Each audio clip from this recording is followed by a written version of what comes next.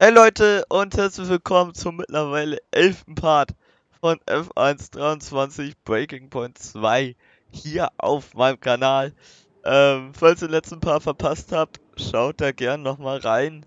Ähm, hatten unser erstes Rennen für Connor Sport ohne Devin Butler, sind da in Spanien gefahren und hatten ja ein sehr, sehr gutes Rennen erwischt, kann man glaube ich ohne Probleme so sagen. Ähm, ja, und heute soll es also weitergehen zum nächsten Kapitel. Es geht jetzt so langsam darum, dass ähm, das Team es schafft, jetzt Kalimea ähm, ja, fest zu verpflichten. Dementsprechend würde ich sagen, geht es gleich mal hier zum nächsten Kapitel. Äh, sind wir jetzt hier erstmal wieder kurz in der Rolle von Kaspar Ackermann und müssen hier ein paar Entscheidungen machen.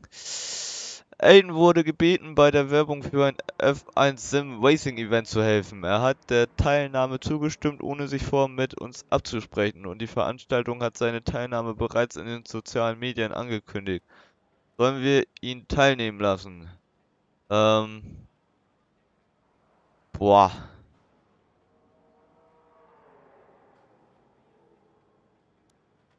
Ja, wir, wir müssen mal zustimmen. Aiden, glaube ich, ein wichtiger Fahrer für uns. Warum Ah, zögerst du noch? Es war doch immer dein Traum, in der Formel 1 zu fahren. Aber nicht auf die Art. Weißt du, was er getan hat?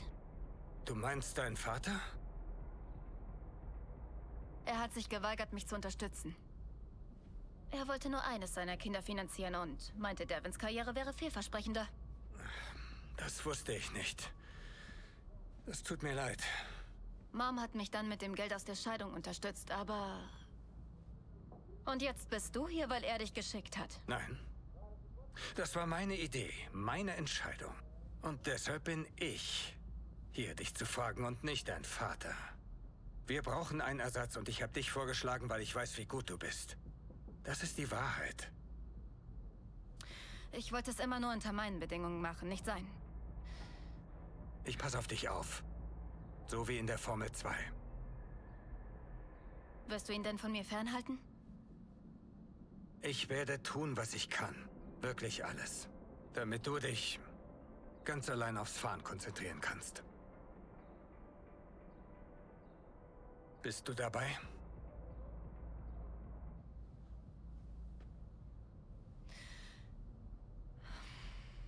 Vielleicht erhältst du nie wieder eine solche Gelegenheit. Das ist dir klar.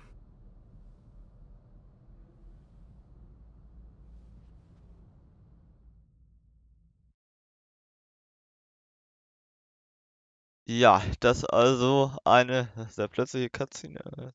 War ein bisschen überrascht. Ähm, aber ja, wir haben jetzt also anscheinend äh, Kalimea, äh, oder Ackermann hat Kalimea jetzt also an Bord geholt hier. Ähm, ja, hat, äh, Kali hat da so ein bisschen die Vorgeschichte mit Davidoff erzählt. Ähm, ja, aber am Ende des Tages haben wir es jetzt irgendwie anscheinend, oder hat Kaspar es mit ein bisschen Überzeugungsarbeit also doch geschafft. Ähm, so, und jetzt sind wir in Aserbaidschan zum elften Kapitel mit der aktuellen F2-Meisterin Kalimea an Bord hoffen Kaspar und das Team von Connor Sport, dass die Stabilität im Team dazu bereit, äh, dazu beiträgt, die nötigen Ergebnisse zu erzielen, um im wettbewerbsintensiven Mittelfeld der F1 mithalten zu können. Ja, das hoffen wir doch alle mal. Ähm, und damit würde ich sagen, geht's gleich mal weiter. Und oh Gott, wir haben ja so viele, so viele Aufgaben. Gleich mal äh, hier die nächste Entscheidung, die wir treffen müssen. Tolle Neuigkeiten. Einer unserer Sponsoren hat unerwartet einen Bonus vorzeitig ausgezahlt. Wir haben verschiedene Möglichkeiten, dass dieses Geld, äh, äh, nee, dieses Geld zu verwenden. Wie wollen wir es investieren? Äh, ins Auto. Da gibt es ja wohl keine zwei Meinungen oder was. So, haben wir noch wieder tausende Nachrichten. Wunderbar, Connorsport verpflichtet Kalimea. Das haben wir aus erster Hand mitbekommen. Und haben gleich mal einen Anruf von Davidov. Davidov, Ich durfte nicht in die Garage, weil Kelly da ist. Das ist lächerlich. Wir haben darüber gesprochen. Du musst dir etwas Freiraum lassen. Ich lasse dich erst einmal gewähren, Ackermann. Aber ich mag es nicht, wenn man mir sagt, wo ich hier hingehen darf und wo nicht. Du hast mich dazu überredet. Was heißt das? Wozu überredet? Kelly unter Vertrag zu nehmen. Ich erlaube dir nur, die Lorbeeren dafür zu ernten. Das ist alles. Hört sich so an, als wolltest du mir die Schuld geben. Wenn du mit ihr recht hast, dann gibt es keine Schuldzuweisungen, oder? Sonst noch etwas? Du bist ein beschäftigter Mann. Ich lass dich weitermachen. Ja, also Davidoff hat schnell mal seinen Unmut, äh, ja, hier mal rausgelassen. Ähm, aber ja, das war auch irgendwie nicht anders zu erwarten. Haben noch wieder ein paar E-Mails, einmal von Lisa Lang, die für unsere Medienarbeit zuständig ist. Hey Kasper, oder erstmal Pressezeiten für Kelly. Hey Kasper, nach unserem gestrichenen Treffen haben wir weitere 14 individuelle Anfragen für Interviews mit Kelly an diesem Wochenende erhalten. Sieht so aus, als müsste jeder seine eigene Meinung haben. In all meinen Jahren in der PR habe ich so etwas noch nie erlebt. Ich habe dem Rest meines Teams deine Überlegungen mitgeteilt, wie wir Kelly so gut wie möglich schützen können und gleichzeitig unsere Verpflichtungen erfüllen können. Ja, sehr gut. Dann haben wir Sui Ackermann. Interview. Hey Schatz, ich konnte dich telefonisch nicht erreichen. Trotz meiner besten Bemühungen, es nicht zu tun, treffe ich mich mit Evelyn zum Mittagessen. Es hat sich herausgestellt, dass sie ziemlich überzeugend sein kann, wenn sie will. Wie die Mutter, so die Tochter, schätze ich. Ich habe übrigens gerade das Checkside-Interview gelesen. Ich weiß nicht, warum du dir solche Sorgen gemacht hast. Du kommst wirklich gut rüber. Obwohl, wenn ich so drüber nachdenke, war es nicht meine Idee, dass du ihr äh, Mentor wärst. Sie sollten eigentlich mich interviewen. Die Schlagzeilen könnte etwas lauten. Zoe Ackermann verändert im Stillen das Gesicht der Formel 1. Was hältst du davon? Ich werde es Evelyn vorschlagen, wenn wir uns treffen. Mal sehen, wie sie das findet. Ja, macht das Mann. Und Jeff hat einmal die Wochenendvorschau. Hier sehen wir aktuell Kalimea jetzt 12. Hier, mal schauen. Ähm, wie das Wochenende denn hier läuft in Baku. Ich würde mal sagen, wir schnacken jetzt nicht mehr so lang und gehen Richtung Rennen. Großer Preis von Aserbaidschan. Vor den Augen der Weltöffentlichkeit will Kelly bei ihrem ersten Start am Steuer eines F1-Autos Geschichte schreiben. Ja, wer will das nicht? Heute wird hier Geschichte geschrieben. Kelly Mayer, Connor Sports jüngste Verpflichtung, wird als erste weibliche Fahrerin in diesem Jahrtausend an einem Formel-1-Rennen teilnehmen. Oh, was für ein Moment. Ich habe Gänsehaut. Für alle, die sich jetzt fragen, warum, nur eine Handvoll Frauen hat im Laufe der Jahre an einem Grand Prix teilgenommen. Aber seit 1992 hat keine auch nur versucht, sich zu qualifizieren. Giovanna Amati aus Italien war die letzte. Der heutige Tag hier in Baku ist also ein echter Neuanfang. Meyer hat im Qualifying natürlich extrem beeindruckt. Mal sehen, was heute auf sie zukommt. Ja, da draußen geht es ganz schön eng zu. Es ist ein harter Wettbewerb. Ich möchte mich hier nicht festlegen. Absolut. Äh, heute gibt es hier einige fantastische Fahrerinnen und Fahrer zu sehen. Vor allem die junge Kelly Mayer, die den Sprung in die Formel 1 ja scheinbar mühelos geschafft hat.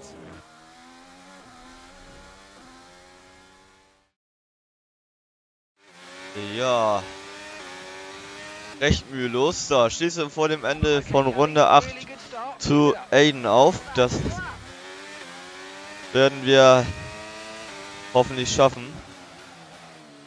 Erstmal wieder hier mit diesem Setup d'accord werden.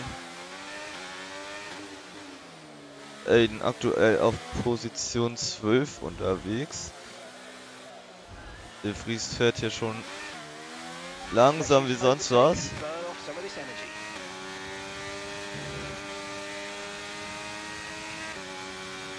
Erstmal schnell das Setup halbwegs vernünftig hingestellt. Das ist das, was man mal schnell verändern kann. Und jetzt sind wir auf der Jagd von Lando Norris.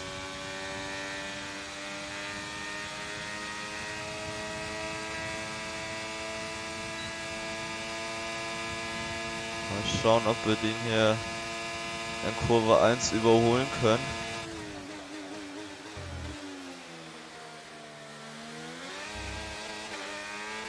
Konnten wir auf alle Fälle.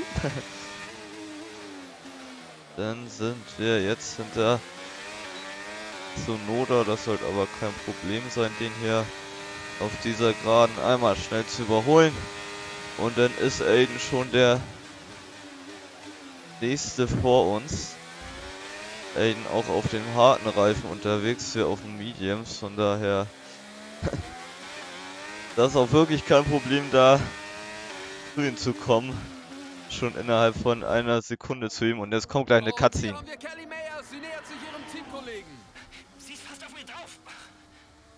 Ihr habt unterschiedliche Strategien. Lass Kelly bitte vorbei, Aiden. Okay, Kelly. Aiden lässt sich in der nächsten Kurve vorbei. Los geht's. Okay. Jetzt die große Frage, wird May an ihrem Teamkollegen vorbeikommen? Los geht's! Oh, da gab's einen Kontakt, einen Kontakt der beiden Connosport-Autos! Für Jackson sieht's nicht gut aus, er hat das meiste abbekommen, Mayer ist okay! Oh, Jacksons Schaden sieht übel aus. Das Rennen ist wohl für ihn gelaufen, Sascha. Ja, es sieht fast so aus, als habe Jackson überhaupt nicht mit Mayers Aktion gerechnet. Ich weiß nicht ganz warum. Hey, was war das? Warum hat sie nicht gewartet, bis ich an der Ausfahrt rüberziehe? Hey, alles okay bei dir, Aiden? Auch noch so eine weitere Butler.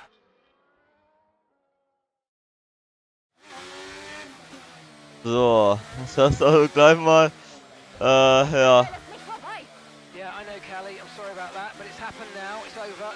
äh, ja, eine sehr spannende Situation ist die Frage, ob es jetzt ein Kommunikationsproblem war oder Kelly da einfach äh, zu übermotiviert war. Auf alle Fälle ist es jetzt unser Ziel, in den Top 10 ins Ziel zu kommen. Unser Bonusziel in den Top 8 reinzukommen, aber ja, geht ja gleich mal sehr gut los hier im ersten Rennen für Kelly. Mal schauen, äh, wie sich die Beziehung denn zwischen den beiden weiterentwickelt. Gehen jetzt erstmal auf der Geraden locker vorbei an Esteban Ocon.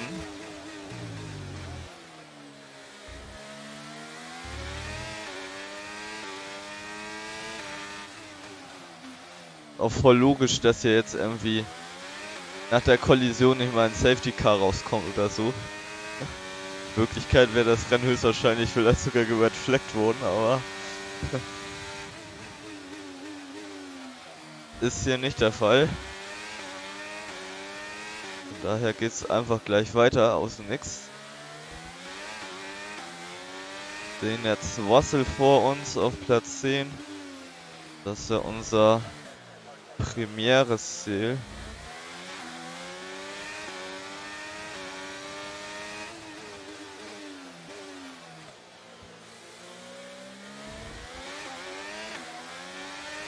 Jetzt versuchen wir mal was.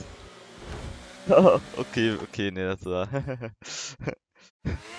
das das wär's gewesen. das war vielleicht.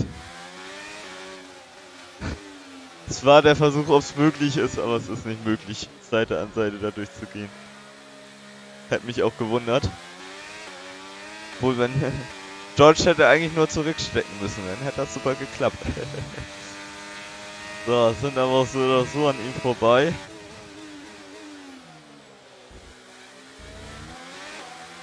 Als nächstes nun Checo vor uns auf 9. Dann davor Lance Stoll auf 8. Das ist ja unser Bonusziel.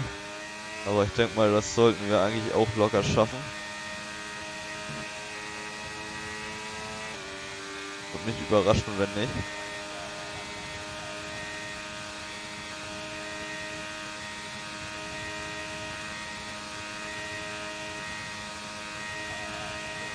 Fahren auf die schnellste Runde. Sind jetzt direkt hinter Checo in seinem DRS-Fenster. Gehen jetzt auch locker an ihm vorbei. Sodass wir als nächstes also jetzt schon Stool vor uns haben und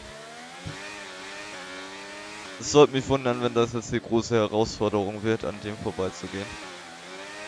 Zumal wir noch viereinhalb Runden haben.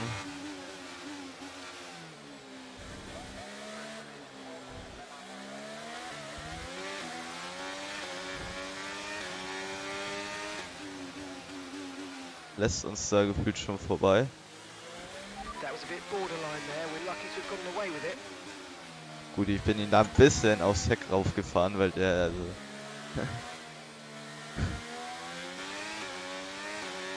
So, als nächstes Gasly vor uns. Den kriegen wir auch noch locker. Vielleicht können wir danach sogar noch Richtung Alonso auf Platz 6 spekulieren. Ja, oder auch nicht. okay. Das war wieder mein Fehler. Ich dachte, dass äh, wir da schon genug Platz haben auf der Seite, aber das war nicht der Fall.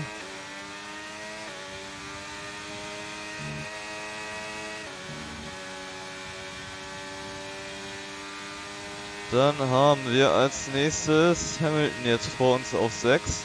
Der wurde gerade von Alonso tatsächlich sogar überholt. Sind aber, glaube ich, Seite an Seite. Jetzt müsste Alonso vorbei sein. 5.1 seconds. Aber da Hamilton auch auf dem harten Reifen ist, denke ich mal, dass wir sogar vielleicht noch eine Chance haben, da aufzuschließen. Wir verlieren gerade auch viel Zeit hier durch die Kurven.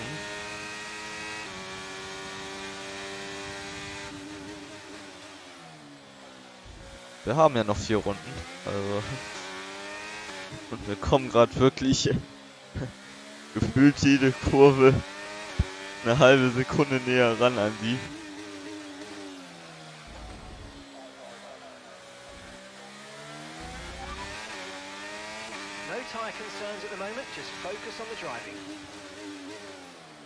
Es sind ja wirklich langsam hoch 10. Wir haben gerade vier Sekunden innerhalb von anderthalb Sektoren hier auf die gut gemacht.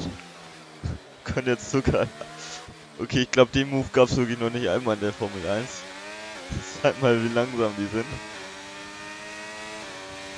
Als nächstes Alonso vor uns.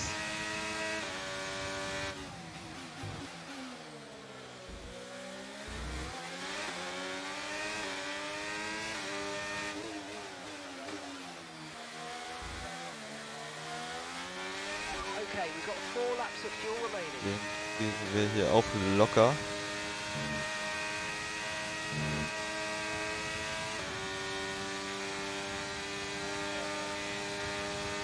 Vermeintliche Problem bloß, dass er jetzt CRSC hat, aber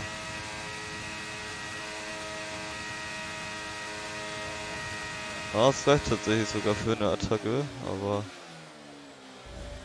auch nicht zu viel mehr. Piastri jetzt der nächste auf Platz 4. Na gut, ich denke mal an Verstappen kommen wir danach dann nicht mehr ran, der ist schon 10,5 Sekunden weg. Aber Piastri, denke ich mal, kriegen wir noch.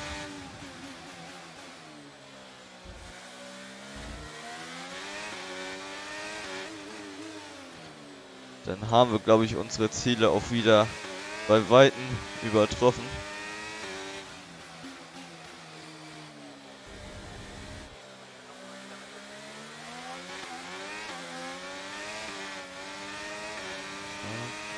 Das ist ja Lucy Goosey.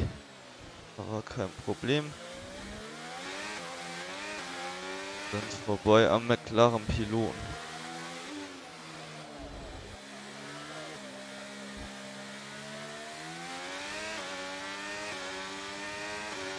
Damit jetzt auf Platz 4.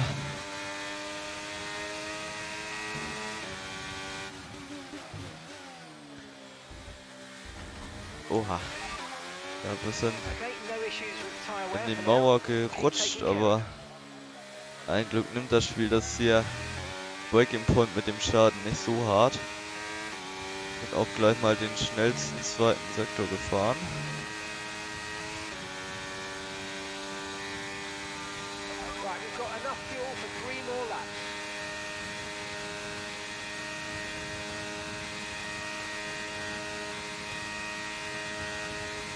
Jetzt sind das hier noch 7.1 seconds. zwei Runden, die wir haben.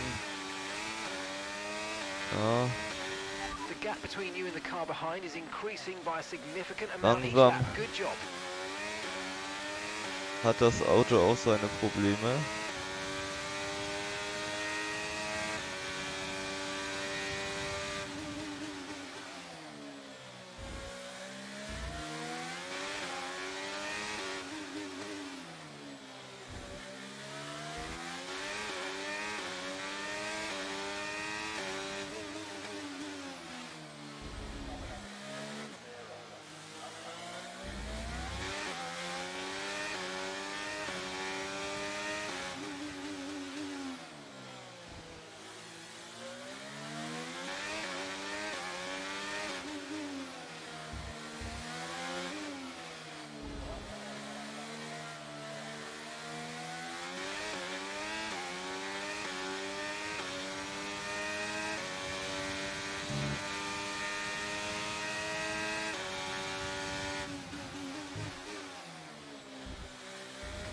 Der Ferne sieht man jetzt tatsächlich sogar schon Max Verstappen. Es kann tatsächlich sein, dass sie die sogar doch noch holen. Wieder die schnellste Runde gefahren.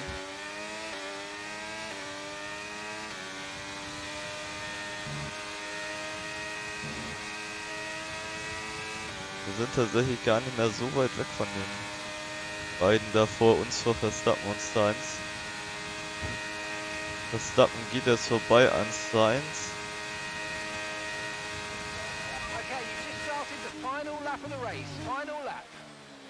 Können wir da vielleicht tatsächlich noch was Richtung Podium ausrichten?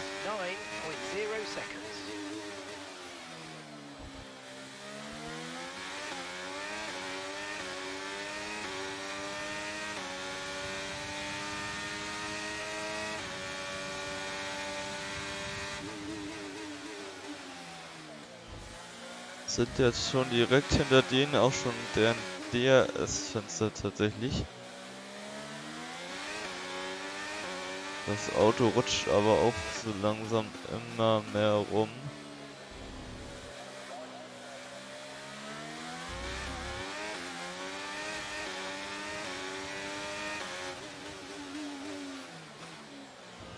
Sind tatsächlich vorbei an Carlos Sainz und damit jetzt auf Podiumkurs.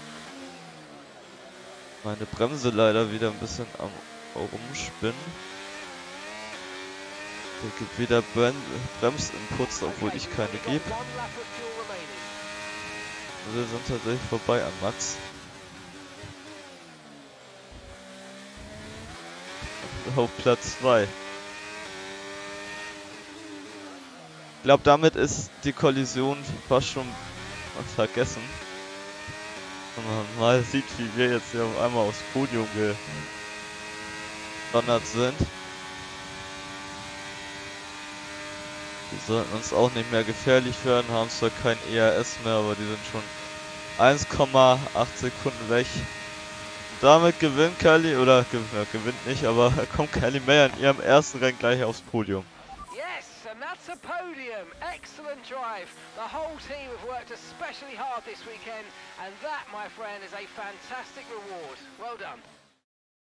Trotz des Dramas an der Tabellenspitze ging es heute vor allem um Connorsport.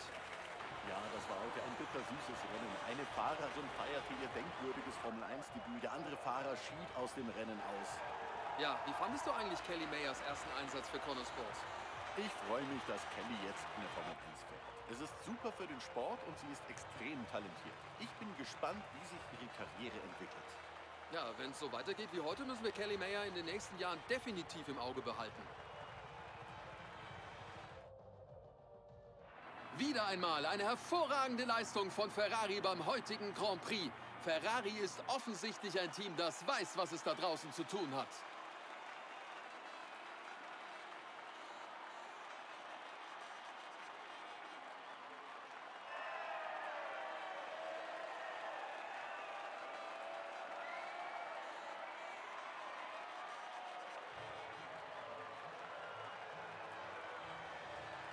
Ja, Kelly Mayer, also hier, glaube ich, zu Recht am Feiern auf dem Podium.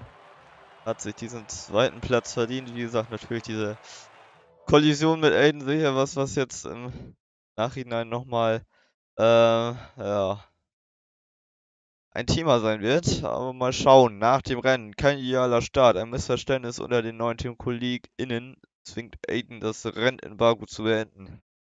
Ja, Mal schauen.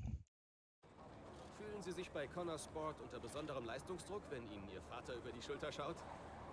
Wissen Sie, das ist die Formel 1 und es ist nicht wirklich, dass ich noch mehr Druck verspüre als ohnehin schon. Also nein, das ist kein Thema. Kelly, gab es in der Formel 1 irgendwelche Vorbehalte, weil Sie die erste weibliche Fahrerin in diesem Sport sind? Nein, alle waren fantastisch zu mir und ich bin nicht die Erste, nur die Neueste. Wie geht es Ihrem Bruder? Halten Sie wirklich nur seinen Sitz warm? Äh, das müssten Sie ihn selbst fragen. Ähm, aber er bekommt die Hilfe, die er braucht. Nein, ich habe keine Absicht, diesen Sitz so schnell wieder herzugeben.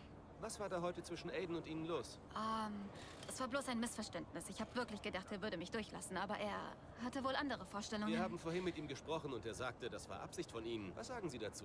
Oh, das war nur ein Missverständnis. Sie fahren ja unter dem Namen Mayer, aber würden Sie jetzt in dem Sitz Ihres Bruders in dem Team, das Ihr Vater sponsert, wieder den Namen Butler annehmen? Damit hätte ich wohl rechnen müssen. Hast du nicht? Das meine ich nicht. Ich bin eine Frau, ich verstehe das. Ich spreche auch gern darüber. Tja, was ist es dann? Es ist immer das Gleiche, das nervt. Sie sind ja eine Frau und dann ist jede Frage nur über Dad und Devin und die Butlers und den Namen. Ach komm, vergiss sie einfach. Oh, es wird sich nie etwas ändern, niemals. Die einzige Frage zu dem Rennen war die über Aiden. Tja, wenn wir es etwas länger hätten laufen lassen, hätte es vielleicht... Kasper! Jetzt verteidige sie nicht. Okay, sorry. Du hast recht. Sorry. Gut, ist okay. Das nächste Mal bin ich schneller. Der Vorfall in Baku. Glauben Sie, das war Absicht? Ja, das war Absicht. Ja, das sieht man doch. Sie sind nicht so richtig warm geworden. Wir waren nicht gleich Freunde. Nein.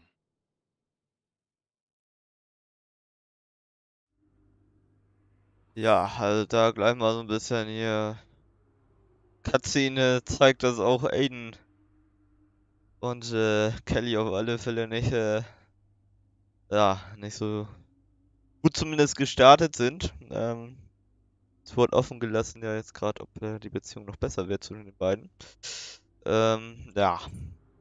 Mal schauen, wie sich das denn äh, weiter entwickelt. Und erstmal haben wir einen Anruf von Evelyn.